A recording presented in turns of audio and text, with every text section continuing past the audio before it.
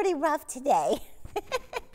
well, he's still cute, but he is naked. He normally has clothes on, and today he's naked.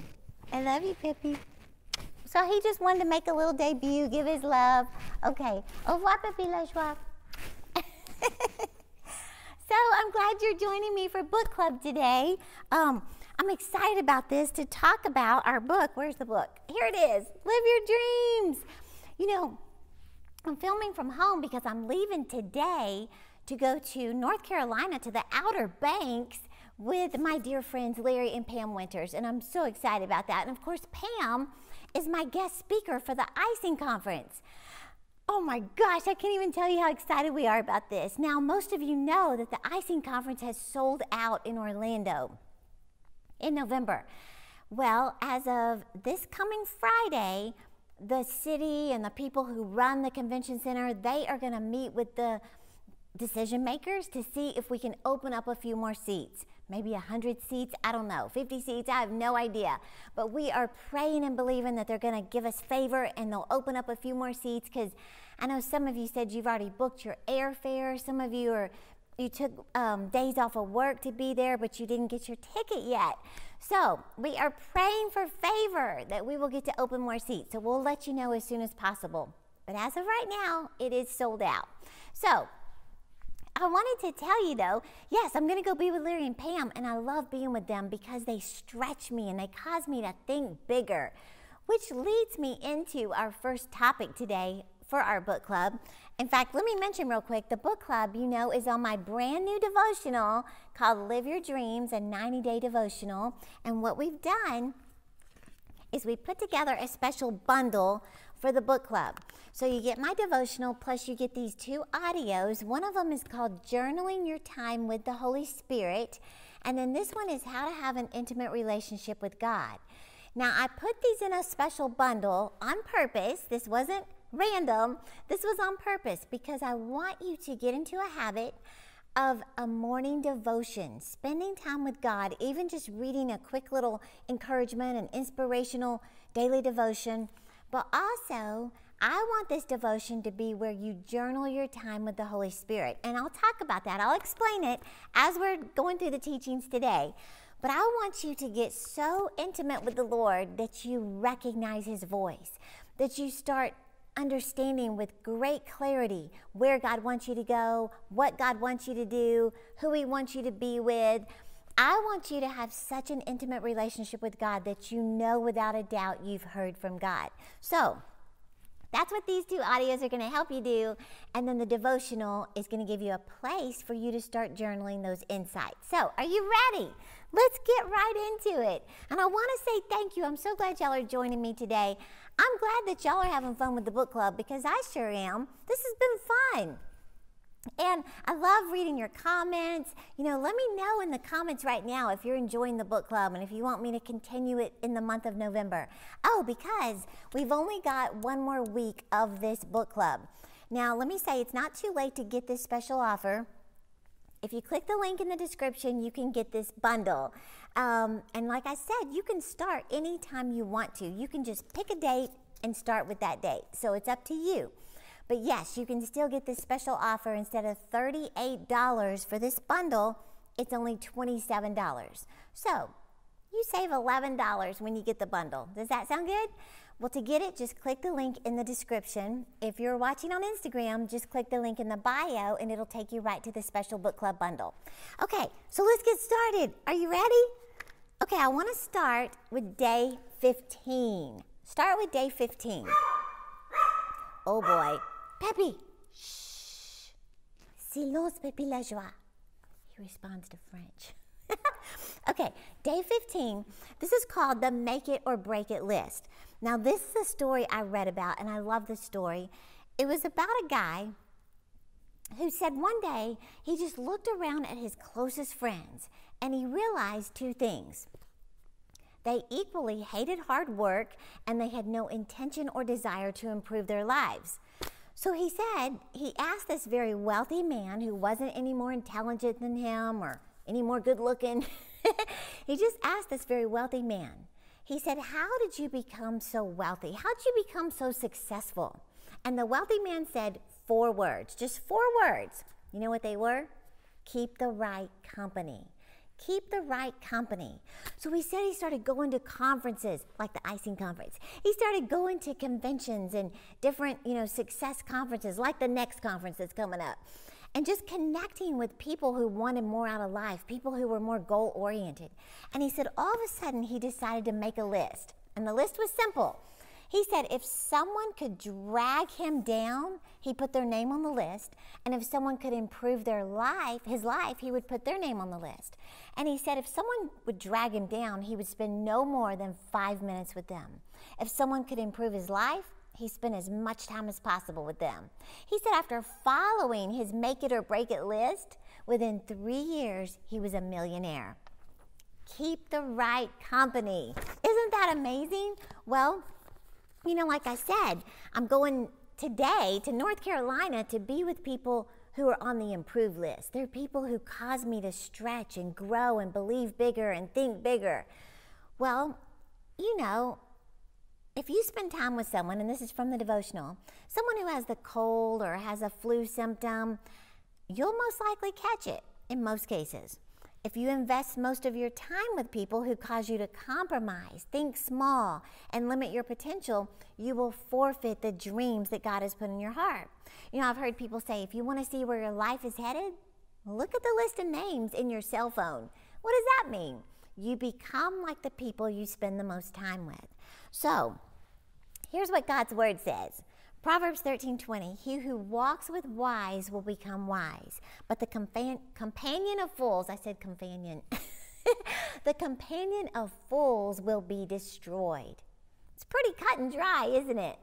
Well, I want you to use your notes right here. You know, on every devotion, there's a notes page, and that's for you to really get clear on what God is speaking to you. And I can't even tell you how important this is that you make for sure you're surrounding yourself with the right people. People who cause you to come up higher. Even people who make you feel a little uncomfortable because they make more money than you. They're smarter than you. They're more fit than you. They're more educated. They know more about the Word of God than you. It's so good to get around those kind of people because they just cause you to think bigger. So a lot of times I have to tell myself, Terri, does this make you uncomfortable? If the answer is yes, then I commit to doing it. So get comfortable being uncomfortable. Put that in the comments right now. Get comfortable being uncomfortable. So I want you to use your notes page right here and make a list like that guy did. If someone can drag you down, put their name on the list. If someone can improve your life, put their name on the list. And don't be so concerned about someone seeing your list because this is your private devotional. This is your private journal just between you and God. And if you're concerned that someone may see the list, then maybe don't write the word drag or improve, just put D and I, but you know. So be honest about it. And let me say real quick if you're going, Terri, that's great, but I can't go hang out at the beach with Larry and Pam Winters or whoever. You know how you start hanging out with successful people? Reading their books and listening to their audios until it just gets down on the inside of you and it causes your faith to grow. Why? Because faith comes by hearing, right? So that's our first lesson for today is get comfortable being uncomfortable and get around the right people, right?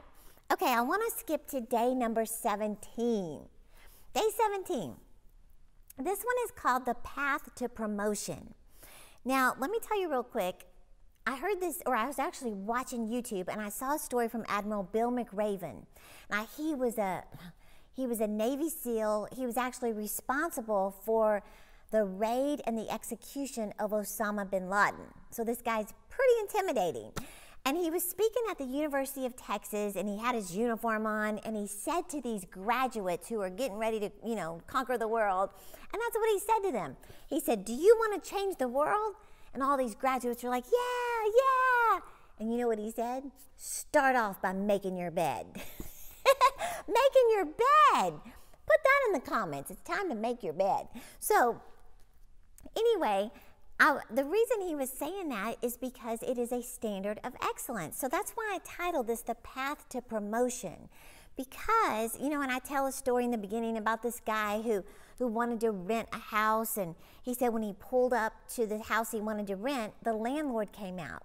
And when she came outside, she was inspecting his car. Like she just kept looking at his car. And then she started asking him all these questions. You know, does it drive good? How long have you had it? Are you pleased with it? Would you buy another one like that? She's asking him all these questions about his car.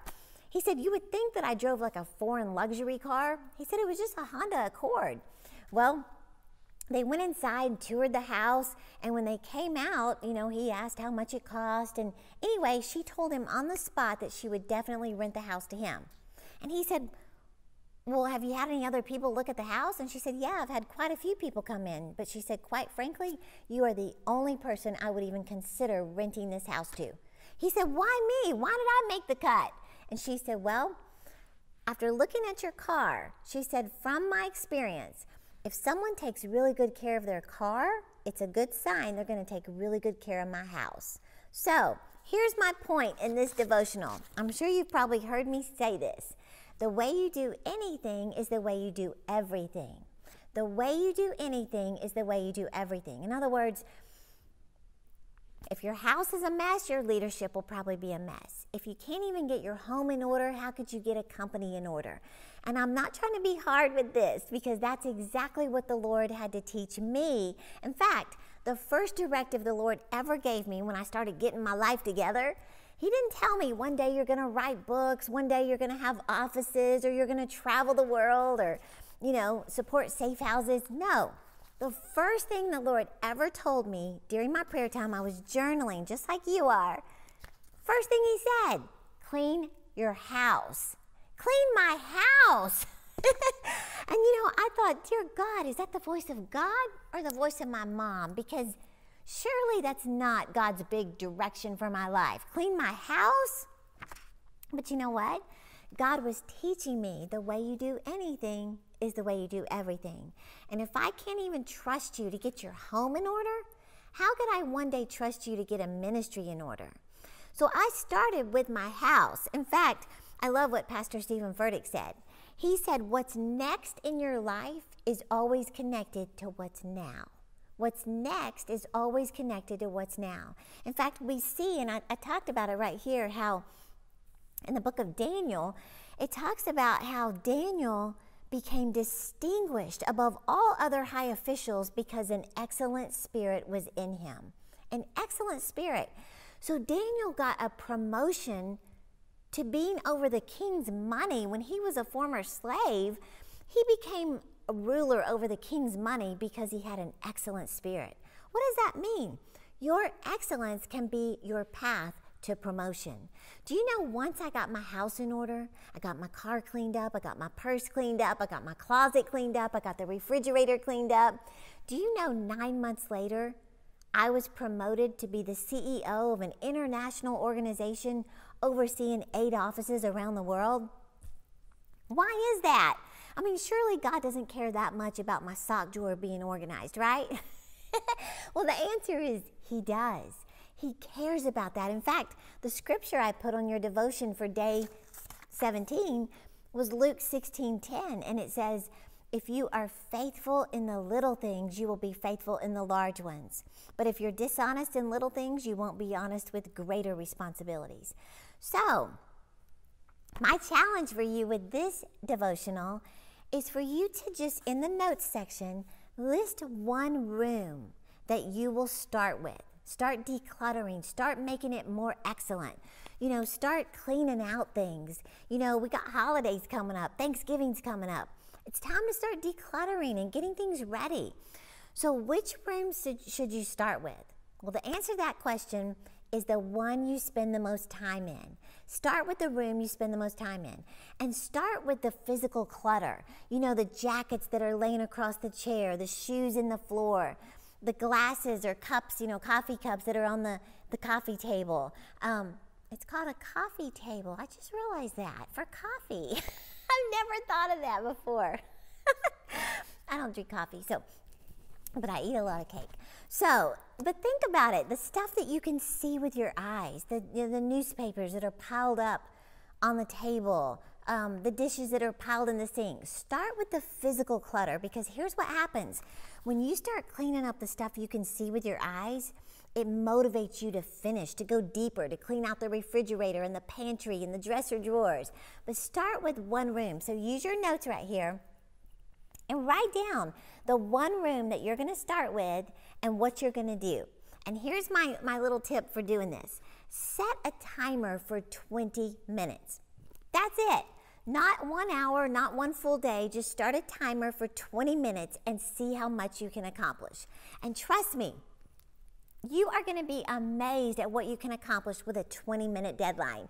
So, and here's the thing when the timer goes off, you might say, I'm going to do another 10 minutes, but you're going to be shocked at what you will do in 20 minutes. So, you got it? Okay. Hey, put in the comments right there. The way you do anything is the way you do everything. The way you do anything is the way you do everything. I love seeing you comment and I love getting this ingrained in you. Okay, the next lesson I want to teach real quick is from day 18. Now, this one is titled You've Come Too Far to Quit Now. You've come too far to quit now. And I wanted to share this one just to encourage you today. Because so many times you see stories from other people and it just looks like, man, everything they touch just turns to gold, or surely they haven't been through much, or you wouldn't understand my story. Well, I filled this book with stories of inspiration from people who have had tough times that you would have never known about unless you read it. And it just causes you to get that feeling of, come on, you can do this. If they can do it, you can do it. That's what it does to me. So I start this one out with telling you the story about Star Wars. And this is a story you may not have ever heard. It's about George Lucas, you know, who directed and, and produced this film. But when he first had the idea for Star Wars, he was living in a one bedroom apartment and struggling as a filmmaker. His idea for the film was turned down repeatedly. Studio executives were unwilling to take on such a confusing story, they called it. They considered it a children's movie, like something Disney would produce. However, at the time, Disney didn't even want it. George Lucas was so disappointed but not defeated. Over the years, the story went through countless changes before being picked up for movie productions. Listen to this. Filming began with an unknown cast and an uninspired crew. A series of mishaps occurred during filming, from injuries to equipment breaking. A rainstorm struck while they were filming. But Lucas, he stayed determined and kept going. Well, that's exactly what you have to do, even if nobody around you is cheering you on. George Lucas said, You simply have to put one foot in front of the other and keep going. He said, Put blinders on and plow right ahead. Well, at times he said he wondered if he should just quit and get a real job, but he had made it too far to quit now. Now, listen to this. Read those words again. I said, You have come too far to quit now. Star Wars may have only released in 32 theaters, but it surprised everyone and broke box office records. This confusing movie um, that no one believed in became a phenomenon. You know that. The original film and its sequels have grossed billions of dollars with a B um, worldwide, and it now has a massive franchise attracting generations of fans. George Lucas said this If you want to be successful, in a particular field, perseverance is one of the key qualities. Well, listen to this. When you're about to give up, I want you to remember this phrase. The size of the challenge is an indication of the size of your calling. The size of your challenge is an indication of the size of your calling. I think that's a good thing to put in the comments, don't you? Get that ingrained in you. The size of your challenge is an indication of the size of your calling. Your battle can be your burial or your greatest breakthrough. It all depends on your attitude. So listen to this scripture from Psalm 27 14. It says, Stay with God, take heart, don't quit. I'll say it again stay with God. I love that. Now, how does this story make you feel?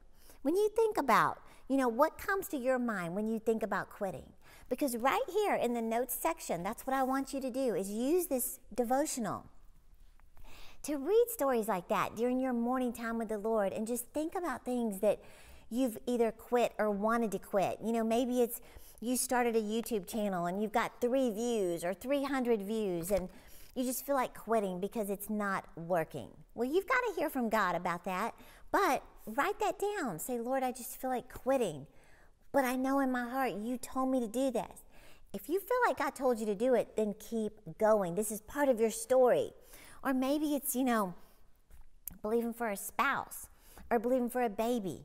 And it just looks like all these years are going by and it's not happening. Don't quit. If God put a dream in your heart, He has every intention of bringing it to pass. But you have to stay in faith. And that's why you have to read stories like this to, to just remind yourself and remind the devil that you are not the only person to go through things like this. You have to have a perseverance like you've never had before to be determined to not quit. You know, maybe it's um, an exam that you failed, a nursing exam, a real estate exam, a, you know, a, an x ray technician, or whatever. Maybe you failed it. Maybe you failed it several times. Don't quit. If God put that dream in your heart, then don't quit. See, the enemy does not want you to live your dreams. He wants you to feel like, okay, this is stupid. I obviously can't hear from God. Well, that's what this book club is about. You journaling your time with the Lord during your morning devotion. And if God is stirring those dreams on the inside of you, then you have to make a decision that no matter how many times you take that exam, you will not quit until you pass. Got it? Okay, so think about that. You know, it reminds me of a funny story I heard about this manager who was giving his staff a pep talk and he was just encouraging them to not quit. And he said, Did Muhammad Ali ever quit? And the crowd shouted, No. And he said, Did Nelson Mandela ever quit? And they all said, No. And then he said, Did Mother Teresa ever quit? Of course, the crowd shouted for the third time, No. and then for the fourth time, he said, Did Thorndike McKester ever quit? And it got silent. And people looked around and they said, Who's Thorndike McKester? We've never heard of him. He said, Exactly, because he quit. so don't be like Thorndike McKester, whoever he is, bless his heart.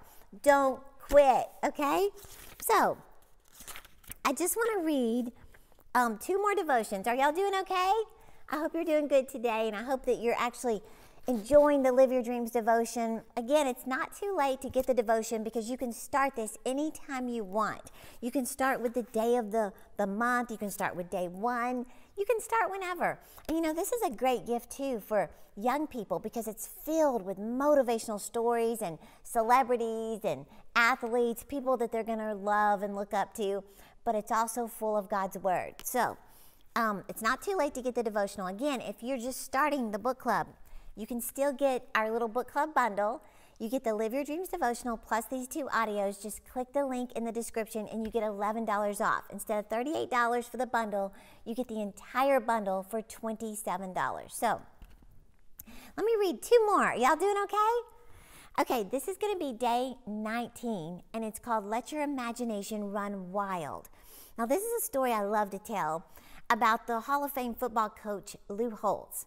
Now, when Lou Holtz was only 28 years old, he said he lost his job, he had no money in the bank, and he had a wife who was eight months pregnant. Well, he was feeling hopeless one night and, you know, not knowing what he's going to do with his life. And his wife, Beth, went out and bought a book about dreaming, book, dreaming big. Dreaming book. but it, he read this book, and it said that you should just sit down and let your imagination run wild. And it said to make a list of everything, everything you can think of. Well, he said that night he sat at the kitchen table and he let his imagination run wild. And he wrote 107 things that he wanted to either be, do, or have. And they were wild things like, I want to have dinner at the White House. I want to meet the Pope. I want to appear on The Tonight Show with Johnny Carson. This was a long time ago. He said, I want to coach Notre Dame. I want to win a national championship. I want to land a plane on an aircraft carrier. I mean, the list went on and on. Well, after reading that book and making the list, he realized that by writing down his goals, he started finding ways to achieve them. But it all began by dreaming big and writing those dreams down. So far, Lou Holtz has achieved 102 102 of the 107 things that he wrote down. Isn't that amazing?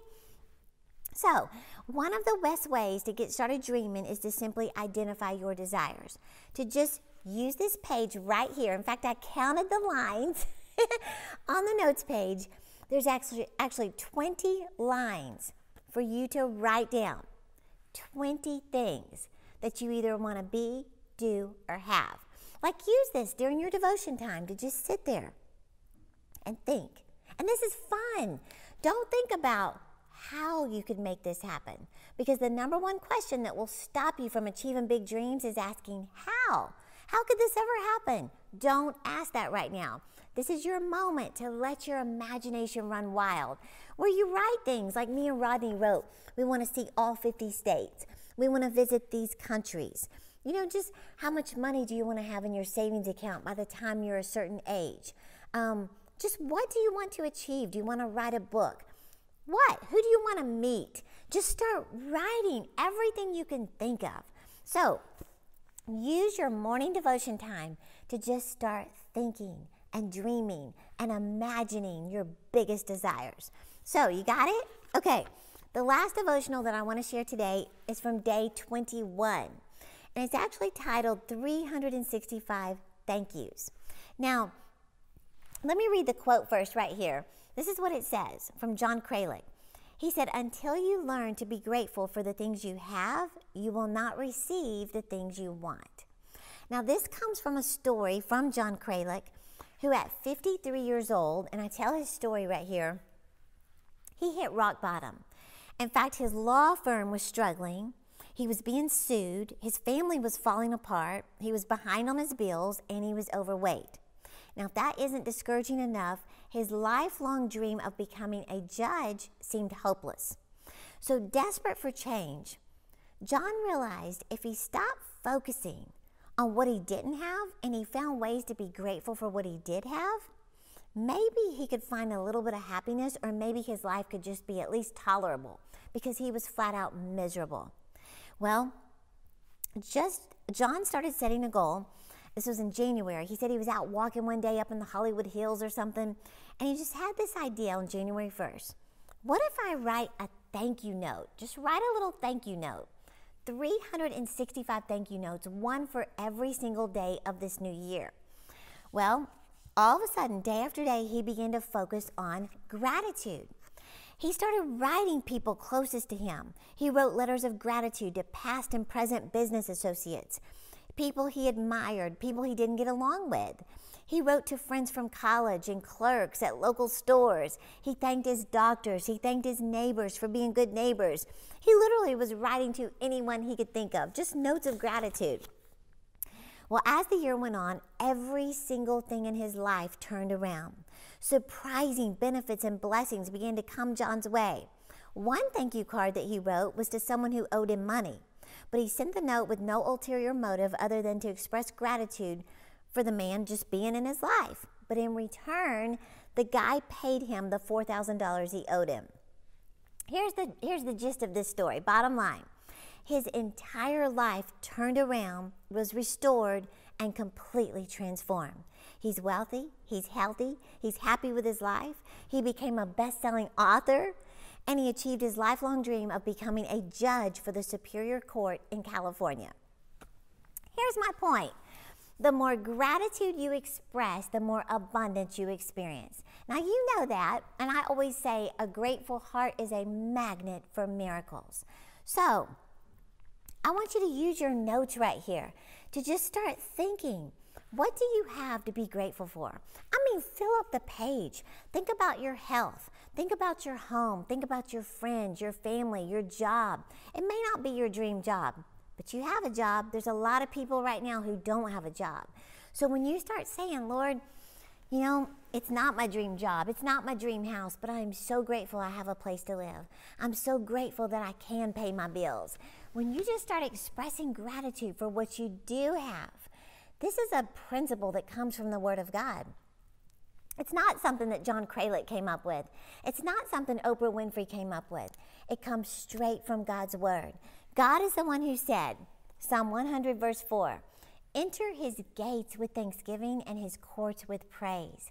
So when you start your prayer time, just saying, Lord, thank thank you so much. Lord, I thank you. I may not have the perfect body, but I'm grateful that I'm healthy. I'm grateful that I have a job. I'm grateful for my friends. I'm grateful for my precious children. Maybe they're not where I want them to be, but I know you're working in their lives, and I thank you for my family. So think about what you do have to be grateful for. You know, we saw in the Bible about, you know, Paul and Silas when they were thrown into that cold, dark prison cell and they were beaten and they had blood dripping from their bodies. It was the worst thing, and they were wrongfully tried. I mean, if anybody should have been mad and going, This is not fair, it should have been Paul and Silas. But it says instead, in the midnight hour, which signifies the darkest hour, they lifted their hands to heaven and they just began worshiping and praising God. What were they doing? They were just expressing gratitude for how wonderful God is, how faithful He is, that He's going to deliver them. They have nothing to fear because they knew He was on their, he was on their side. Well, the Bible says that the other prisoners heard them. They were thanking God so loud, the other prisoners heard them. And an earthquake was sent from heaven. The walls began to shake, the floor began to crumble, the chains fell off their feet, and the prison doors opened up. What does that mean?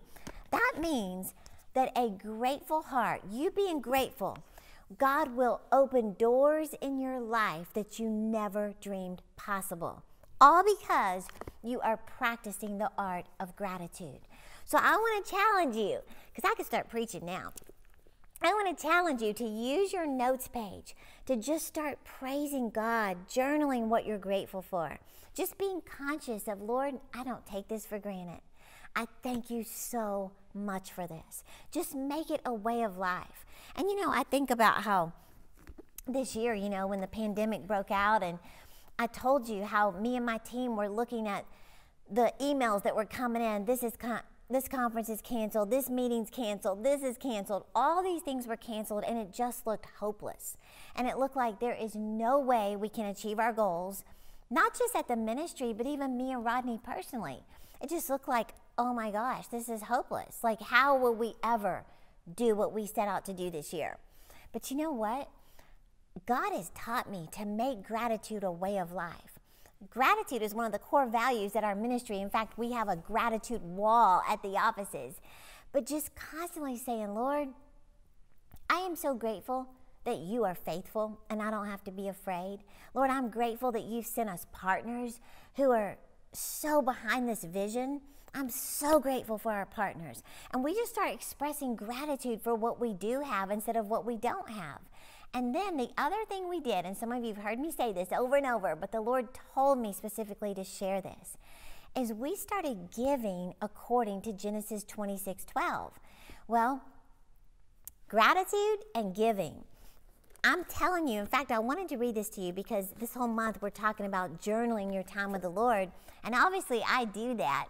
And so, listen to what the Lord said to me.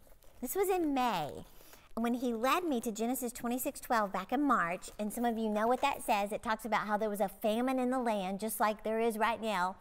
But it says Isaac chose to sow seed in famine. In other words, when everybody else was holding on to their seed, Isaac said, The best thing I can do is get my seed in the ground. Well, verse 12 says that in the same year, Isaac reaped a hundred times as much as he sowed. A hundred times. So I told my team I want in on this Genesis 26:12. Well, the Lord told me to make our seed memorable, that we had to give and do it right then. Well, I wanted to read to you my journal because that's what you're doing. You're journaling your time with the Lord. Listen to what the Lord said to me. This was in May. He said, Give according to the harvest you're declaring. If you can give more, give more. He said, It only sets you up to receive more. And then he said to me, You know this. But he said, Obey quickly, and your harvest won't be delayed. Now, that was on May 26th. The Lord told me, Obey quickly, and your harvest won't be delayed. I told my CEO, my CFO, I said, we've got to sow 2,612 into several ministries and we have to do it today. Like, we can't wait till tomorrow. We got to do it today. They said, why so, why are we in such a rush? I said, the Lord said, Obey quickly, and your harvest won't be delayed. Do you know that very day, I have it here in my notes, that very day, our ministry broke a new record on our website for sales and donations that very day. I'm not making this up. So then I told my team, let's give again. Let's get some more seed in the ground, just like Isaac. Well, listen to what else the Lord said to me. He said, Give where you feel led and do it quickly. No delays on your part produce no delays on mine. Then he said this prompt obedience produces a prompt harvest. Now, I'm starting to see a pattern here, aren't you? About doing it quickly. When God puts it in your heart, do it now. Don't wait another 24 hours. Don't wait to process it and think about it and contemplate. Do it now. So, again, I told my team, we got to sow seed, we got to do it now. So we sowed significant seed into several ministries and we did it right then. Well, that month we broke records again on our website, the previous record. And it just kept happening month after month all summer. Well, then, this was later in the summer, I was sitting at a conference and it was actually the morning of the conference, and this is what the Lord told me. Because we still needed $100,000 to pay off the icing conference. 100000 and here I am just giving and giving and giving, and God keeps breaking records. Well, this is what the Lord said. He said, Your giving today sets things in order for tomorrow. He said, Trust me. You simply obey what I tell you to do, even if it feels awkward and stretches you. He said, Do it anyway, and watch my favor overtake you, overwhelm you, and override every obstacle. And I thought he was done talking, and then he started talking again. And this is what I heard the Lord say Never hold on to seed that can produce so much more than you currently have. He said, Get it in the ground so you have more than enough. Well, I told my team, we need $100,000 for the icing conference. I said, we're going to sow into someone else's conference and we're going to add some zeros to our 2612. So instead of 2,612, we sowed $26,120. And I did it right then, that very day. Well, do you know? The next week, we received all the money we need to completely pay off the icing conference, and it was paid for before it even started. I'm telling you the truth. This is Genesis 26:12. It is our season to experience Genesis 26:12. Keep in mind, this is during a pandemic when I'm just like you. I didn't know if anybody was going to show up. I didn't know if anybody was going to sponsor the icing event. I'm operating in faith just like you are. When you still owe $100,000 for an arena that you rented, and yet you're giving and giving and giving, and you're going, Lord, I need $100,000, and you're telling me to sow $26,000. I could use that for the, the conference. But the Lord said, Get it in the ground. Prompt obedience produces a prompt harvest. And then for the Lord to more than pay for the conference, it was paid for before it even started. So I want to minister to you today, and I want to challenge you. Get your seed in the ground. Declare that this is our season for Genesis 26:12. In fact, y'all have heard me say I printed out Genesis 26:12 and I put my name where it says Isaac. And I declare every day that Terri reaped a hundred times as much as she sowed, and the Lord blessed and favored Terri. So I want you to do the same thing. And if you feel like the Lord's leading you to give to our ministry, give your Genesis 26 12. This is the season for a hundredfold return. Some of you have already told me your testimonies. You've put them in comments. You've sent me your emails with your testimony from Genesis 26 12. We get them all the time. Why? Because there's such an anointing on this message and on this season. So, if God leads you to give, then there's a link right there. Just click the link in the description. Go to terri.com slash give and you can get your Genesis 26:12 seed in the ground now. Remember what the Lord said. Prompt obedience produces a prompt harvest. So I want you to know we honor your seed, we pray over your seed, and we are declaring this is your year for Genesis 26 12, you will receive a hundred times as much as you sowed, and the Lord will bless and favor you. So I want to say thank you. Thank you for watching. Thank you for being with me. Don't forget to get your book, get your bundle. Instead of $38, this is only $27 for the Live Your Dreams devotional and the two audios, Journal Your Time with the Holy Spirit and How to Have an Intimate Relationship with God. So click the link in the description so you can get your bundle. And again, next week will be our final week to talk about this book. Does that sound good? Okay, thanks for watching. I can't wait to read all your comments. I love you so much, and I'll see you next Tuesday. Bye-bye.